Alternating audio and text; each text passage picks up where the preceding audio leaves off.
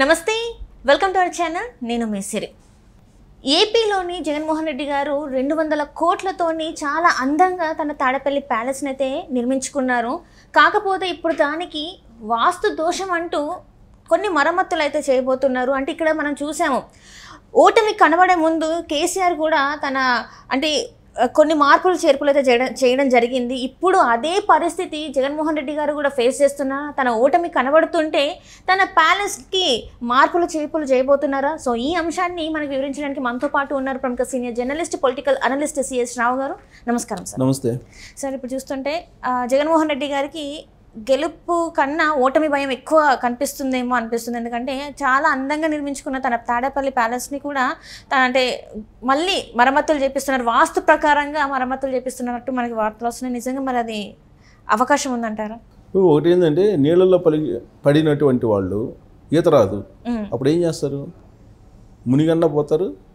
లేదంటే ఏదో ఒకటి దొరుకుతుందని చెప్పి వెయిట్ చేస్తారు. ఏదో ఒకటి దొరుకుతుందని వెయిట్ చేస్తారు. ఏది పట్టు ఏది దొరికితే అది పట్టుకుంటారు. బయట పట్టడానికి నీళ్ళల్లో ఈత రాని వాళ్ళు అలాగే ఇప్పుడు ఉన్నటువంటి పరిస్థితి కూడా అలానే కనపడుతుంది. గడ్డి పోసు దొరికినా కానీ పట్టుకునే ప్రయత్నం చేస్తారు నీళ్ళల్లో మునిగిన వాళ్ళు.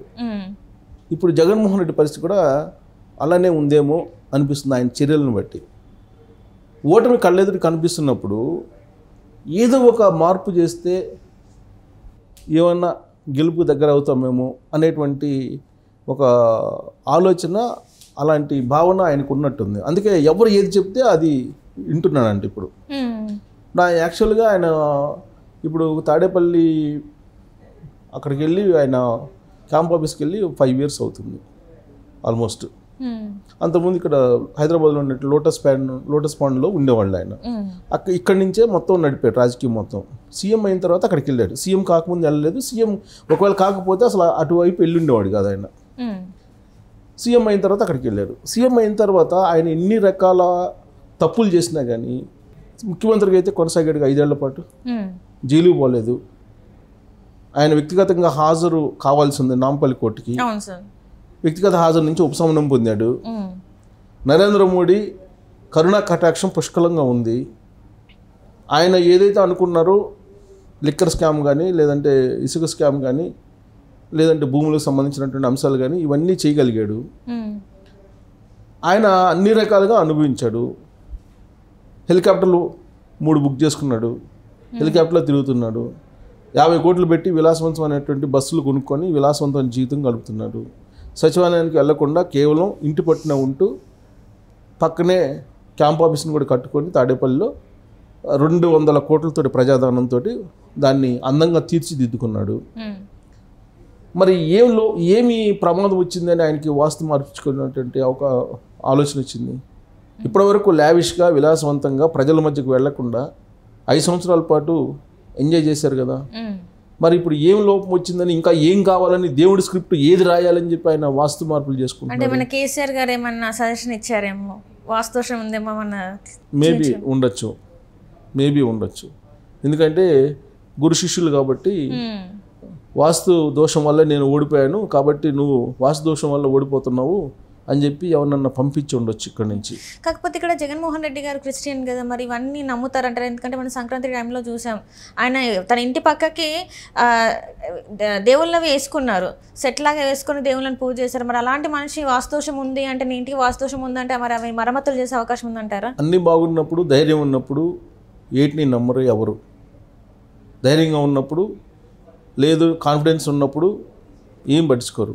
కాన్ఫిడెన్స్ లెవెల్ తగ్గినప్పుడు ఓటమి కళ్ళెదురు కనిపిస్తున్నప్పుడు నేను ఇందాక చెప్పాను నీళ్ళల్లో మునిగినటువంటి మనిషి ఏ విధంగా అయితే గడ్డిపోచనైనా సరే పట్టుకొని బయటికి వెళ్ళ పడాలని ప్రయత్నం చేస్తారో అదే తరహాలో ఇప్పుడు ఆయనకు ఓటమి కళ్ళెదురు కనిపిస్తున్నటువంటి ప్రస్తుత సమయంలో ఆయనకి ఎవరో కేసీఆర్ పంపించారో లేకపోతే ఎవరు పంపించారో తెలియదు వాస్తు దోషం ఉందని చెప్పి చెప్పారట.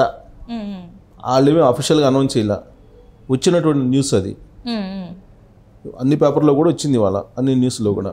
అంతకుముందేమో ఆల్రెడీ అక్కడికి కంటైనర్ వెళ్ళి ఎగ్జిట్ దగ్గర కంటైనర్ ఆగి కంటైనర్లో ఏదో తీసుకెళ్ళారనేది ఒకటి అనిపించింది. ఇప్పుడేమో పది అడుగుల ఎత్తున తాడేపల్లి క్యాంప్ ఆఫీస్ చుట్టూ కాడేపల్లి హౌస్ చుట్టూరు ఒక పెద్ద ఇనుప కంచెను ఏర్పాటు చేసుకున్నటువంటి జగన్మోహన్ రెడ్డి ఇప్పుడు ఆయన ఏదో కష్టాలు పడినట్టు ఆ కష్టాల నుంచి బయటపడటానికి వాస్తు దోషం ఉంది. దాన్ని తొలగిస్తే కష్టాల నుంచి బయటపడతారు అని చెప్పి ఎవరో సిద్ధాంతం చెప్పారట. అందుకని ఈశాన్య మూలలో బరువు ఉంది కాబట్టి దాన్ని తీసేయండి అంటే మొత్తం తీసి పడేశారంట. ఇప్పుడు తొర్రి పొన్నుకి పిల్లలకు పన్ను ఊడిపోతే కనబడి తొర్రి పొన్నులాగా కనబడుతుందని చెప్పి సెటరిక్గా ఇప్పుడు సోషల్ మీడియాలో కూడా పెడుతున్నారు. వాస్తవంగా పది అడుగుల ఎత్తున్నటువంటి ఇనుపు కంచెను ఎందుకు ఏర్పాటు చేసుకున్నాడంటే చుట్టుపక్కల ఉండేటువంటి వాళ్ళు తాడేపల్లిలో ఆవరణలో కనపడుతుందని చెప్పి పక్కన వాళ్ళకి ఎవరికి కనిపించకుండా ఎత్తుగా ఆయన కట్టించుకొని దానికి ఫెన్సింగ్ వేసుకున్నాడు. దానికి ప్లస్ క్యాంప్ ఆఫీస్ నిర్మాణానికి దాని అన్- దాన్ని ఇంటర్నల్గా అంటే ఇంటీరియర్స్ కోసం కానీ మొత్తం రెండు వందల కోట్ల రూపాయలు ఖర్చు పెట్టాడు దానికి అని చెప్పి. ఇప్పుడు వస్తున్నటువంటి న్యూస్. అంత కాస్ట్ అంత రెండు వందల రూపాయలు ఖర్చు రెండు వందల కోట్ల రూపాయలు ఖర్చు పెట్టి ఆయన తీర్చిదిద్దుకున్నటువంటి చుట్టుపక్కల కంచ లోపల ఇంటీరియర్స్ ఇవన్నీ ఏవైతే ఉన్నాయో వాటన్నిటిని మార్పు చేస్తున్నారు. ఇంటర్నల్గా అలాగే ఎక్స్టర్నల్గా ప్రహరీ గోడని వీటన్నిటిని మార్పు చేస్తున్నారు. ఈశాన్యంలో బరువు ఎక్కువైంది. అందుకే దాన్ని కూల్ చేయండి అంటే కూల్ చేశారంట. కూల్ చేసి ఏం చేస్తారో తెలియదు ప్రస్తుతానికైతే కూల్ చేసిందంట దాన్ని ఏం చేయాలనేది అర్థం కావట్లేదు. ఇప్పుడు ఎవరు బయట సెక్యూరిటీ రీజన్స్ పరంగా చుట్టూరు మొత్తం క్లోజ్ చేసేసారు. ఈశాన్యం క్లోజ్ చేయకూడదు అని చెప్పి ఎవరో చెప్పారు. దాన్ని ఓపెన్ చేశారు. దాన్ని ఓపెన్ చేసిన తర్వాత ఏం చేయాలనేది అర్థం కావట్లా ఇప్పుడు.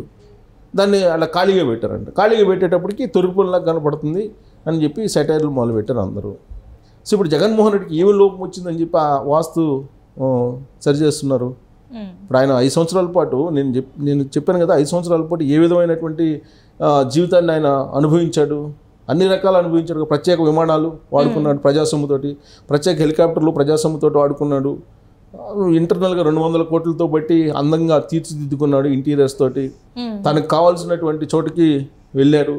తనకు కావాల్సినటువంటి విధంగా రిక్కర్కి సంబంధించి మద్యపాన నిషేధం చేస్తానని చెప్పి ఆయన మొత్తం తయారీదారు ఆయనే మద్యాన్ని తయారు చేయడం ఆయనే ఆయన బినామీ పేర్లతోటి సరఫరా చేయడం ఆయనే అమ్మడం ఆయనే.